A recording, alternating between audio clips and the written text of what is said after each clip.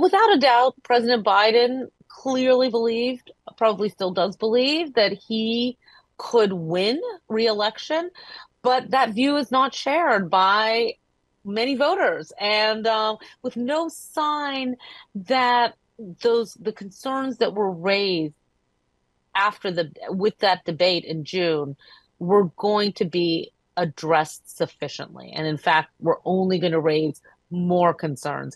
And I think that um, you know, as President Biden said in his letter, this was a decision that it's not just his own interest, but it's the party's interest and and what what is in the public interest. And that's what it's important for leaders to know how to govern and to know when to um, to step aside. I wouldn't have picked Vice President Trump to be vice president, but I think she was not qualified to be president. So let's start there. Number one. If they just paid 24 percent or 25%, either one of those numbers. They'd raise $500 million, billion dollars, I should say, in a 10 year period. We'd be able to right, wipe out his debt. We'd be able to help make sure that all those things we need to do child care, elder care, making sure that we continue to strengthen our healthcare system, making sure that we're able to make every single solitary person uh, uh, eligible for what I've been able to do with the, uh, with, with, with, the COVID, excuse me, with um, dealing with everything we have to do with. Uh, look, if we finally beat Medicare. Folks, let me close with this. I know I'm not a young man. State the obvious. Well, I know.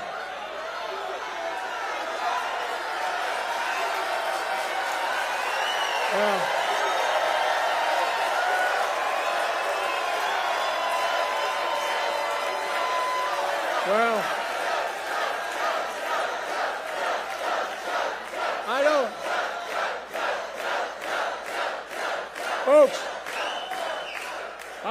I as easy as I used to. I don't speak as smoothly as I used to. I don't deb- debate as well as I used to. But I know what I do know. I know how to tell the truth.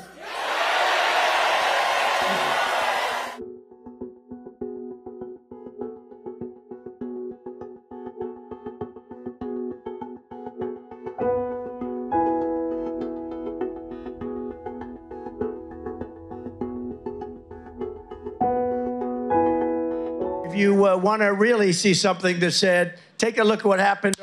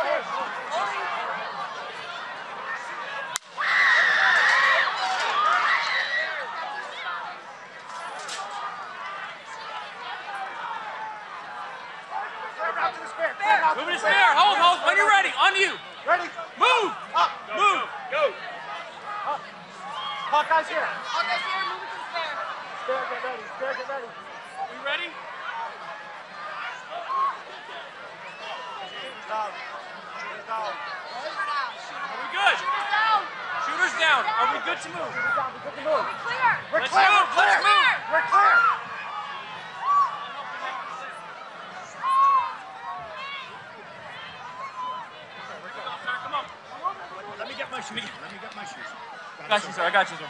Let me get my shoes, sir. Hold that in your head. It's bloody. So we gotta move to the bus. Move to the bus. Let me get my shoes. Okay, my shoes down. My shoes. Watch out.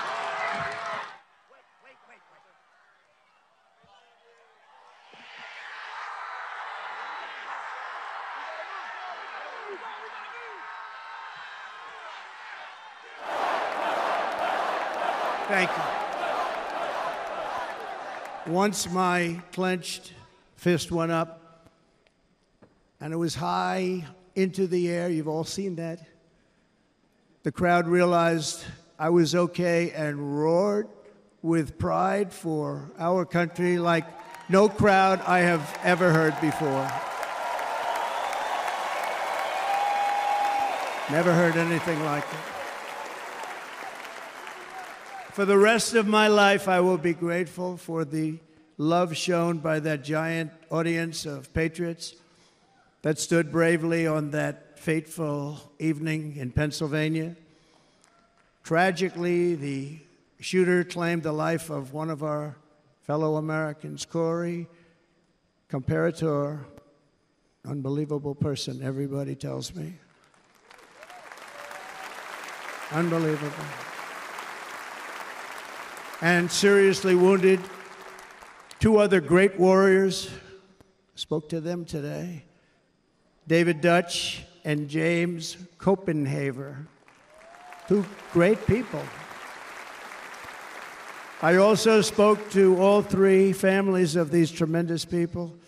Our love and prayers are with them and always will be. We're never going to forget them. What's the what's the consensus? Is there consensus? It was a very good meeting. You support the president? I support a great conversation that people are having. Is everybody behind the president? It's a family discussion. I'm not going to say any more.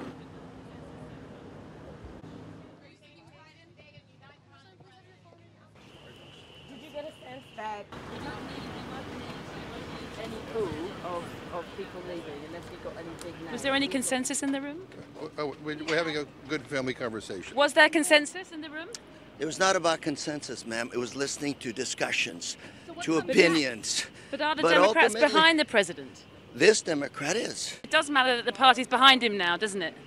I think it matters that we have uh, a unified party, yes. And, uh, but are you? It doesn't seem that there is unity coming out of this meeting. It's a process. He, he just has to step down because uh, he can't win, and my colleagues need to recognize that. Are you supporting him, sir? I'm going to support the nominee of my party. I'd certainly support President Biden, but I think we would be less endangered of a Trump presidency if we had a different candidate.